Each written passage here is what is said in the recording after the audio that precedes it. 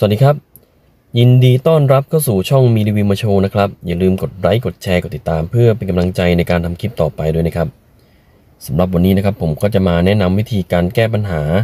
สำหรับผู้ที่ติดตั้งแอป Skin to Auto นะครับ แล้วโดน Google Play นะครับอ่า Play Store เนี่ยนะครับบล็อกนะครับบล็อกโดย Pay Protect นะครับก็เดี๋ยวให้ดูก่อนนะครับ อาการเป็นแบบนี้นะครับ เข้าที่ Play Store นะครับ เดี๋ยวแบ็กกลับก่อนนะครับปกติจะเข้าตรงนี้นะครับเข้ามาหน้านี้เสร็จแล้วให้เรากดที่รูปบัญชีของเรานะครับแล้วก็กดที่ Pay Protect ตรงนี้นะครับ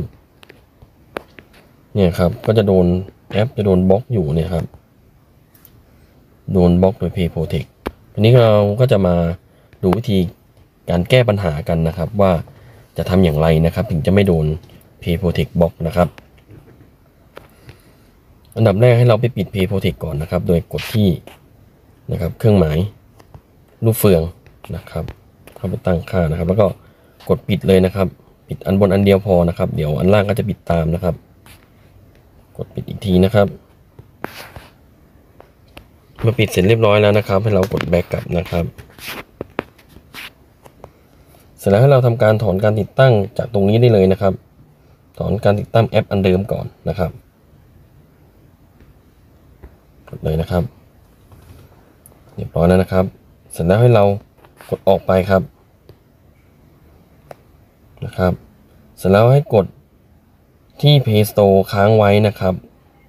กดค้างไว้นะครับ จะขึ้นหน้าแบบนี้มานะครับ กดค้างไว้ ให้เรากดที่ตัว i ครับกดที่ตัว i นะครับ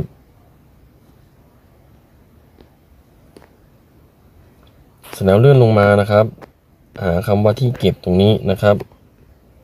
กดเข้าไปเลยครับ ให้เรากดจัดการข้อมูลตรงนี้นะครับ จะสังเกตว่า ตรงนี้กับตรงนี้เดี๋ยวจะกลายเป็นศูนย์นะครับ กดลบนะครับนะครับสองตรงนี้กลายเป็นศูนย์ไปแล้วนะครับ เสร็จแล้วเราแบ็กนะครับ ออกไปนะครับ เสร็จแล้วเราทำการถอนการติดตั้งแอป King Installer นะครับ แอปนี้นะครับ King Installer ตัวนี้ให้เราถอนออกนะครับ กดค้างไว้ได้เลยนะครับ แล้วกดถอนการติดตั้งครับ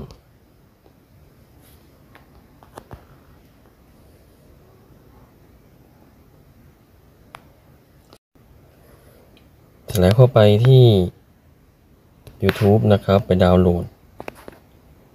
นะครับ King Installer เวอร์ชันใหม่ ที่ผมโมขึ้นมานะครับ เข้าไปที่ช่องของผมแล้วก็ไปที่ชุมชนนะครับ หรือไปที่ใต้คลิปก็ได้นะครับ เดี๋ยวผมทิ้งลิงก์ไว้ที่ใต้คลิปด้วยนะครับ ก็โหลดอันบนก่อนนี่นะครับโหลดอันนี้นะครับแล้วก็เดี๋ยวโหลด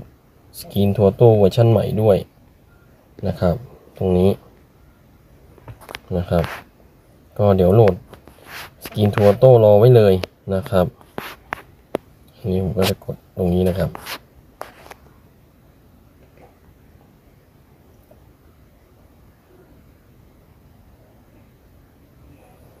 กดดาวน์โหลดเลยนะครับ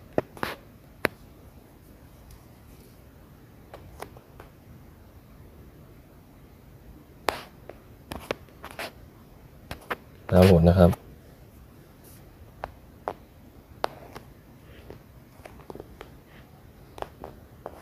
ดาวน์โหลดเสร็จแล้วก็ออกก่อนนะครับ แล้วก็จะดาวน์โหลดตัวนี้ต่อนะครับ ก็คือเป็น King Installer นั่นแหละครับ แต่ว่าผมโมโมไว้นะครับก็กดดาวน์โหลดได้เลยนะครับ ส่วนนี้ติดตั้งได้เลยนะครับ กดติดตั้งไปเลยนะครับกดติดตั้งก็ต่อไปหลังจากนี้นะครับ การติดตั้งก็คงต้องแนะนำว่าให้ปิด p Protect ก่อนที่จะติดตั้งนะครับ เพราะว่าตอนนี้ทาง Google เขาก็มีวิธีในการบล็อกแบบนี้แล้วนะครับ นี้พอติดตั้งเสร็จกดเปิดได้เลยนะครับ ดตรงนี้นะครับ กด back ได้เลยนะครับ เสร็จแล้วก็ทำการติดตั้ง Screen2Auto ใหม่นะครับ ก็วิธีติดตั้งก็เหมือนเดิมแหละครับ เหมือนกับตอนติดตั้งเลยนะครับ อันนี้ผมก็จะไปอย่างไวนะครับ กด select ไฟล์แบบเดิมเลยนะครับ แต่ว่าเลือกอไฟล์ที่เราดาวน์โหลดมาใหม่นะครับ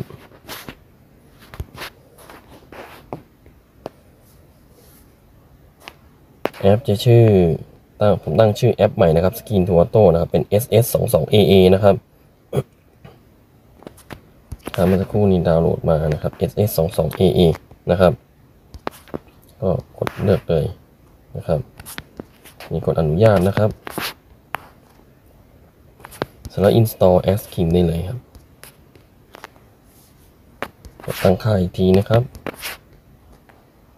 แล้วก็ทำการเปิดตรงนี้นะครับ แล้วกดติดตั้งเลยครับพยายามทำไปช้าๆนะครับ อย่าไปกดข้ามคลิปนะครับ เดี๋ยวข้ามขั้นตอนไหนไปแล้วก็จะทำไม่ได้นะครับ เพราะตอนนี้ทาง Google เขาก็บล็อกบล็อกเลยนะครับ แล้วก็เขาจะบันทึกชื่อแอปด้วยนะครับ ถ้าใครทำพลาดไปบ่อยๆ เข้าปุ๊บทาง Google ก็จะทำการบันทึกชื่อแอปตัวนี้นะครับ ก็ต้องมาแก้ไฟล์ติดตั้งใหม่อีก นะครับ ค่อยๆทำช้าๆนะครับ เอาทีเดียวให้ได้เลยนะครับ เพื่อหลบการบล็อกของ Google นะครับ ใช้ Pay Protect บล็อกแล้วตอนนี้ เสร็จแล้วกดเปิดแล้วนะครับ แล้วก็ตั้งค่าตามปกติที่เราเคยตั้งเลยนะครับ ก็เหมือนเดิมเลยนะครับ นี่ผมจะไปอย่างไวนะครับ ตรงนี้เปิดให้หมดเลยนะครับ ส่วนใครที่จำไม่ได้นะครับว่าติดตั้งย่างไรตั้งค่าย่างไรนะครับ ย้อนไปดูที่คลิปติดตั้งได้นะครับ อันนี้ผมเป็นวิธีการแก้ปัญหานะครับคลิปนี้ ก็ผมก็เลยจะไปอย่างไวนะครับ เพื่อไม่ให้เสียเวลานะครับเปิดให้หมดนะครับ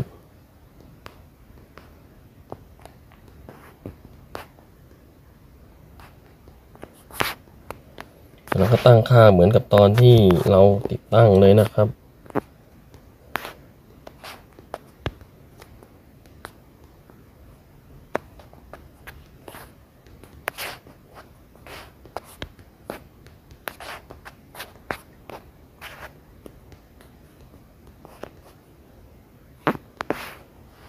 ครับ เสร็จแล้วแล้วก็เราก็กดออกนะครับเดี๋ยวเราลงไปดูกันนะครับ เราก็เข้าที่ Play Store นะครับ หลังจากที่ติดตั้งเสร็จแล้วนะครับ ก็กดที่หน้าบัญชีของเรานะครับ เข้า Pay Protect นะครับ เราลองกดเปิดดูนะครับ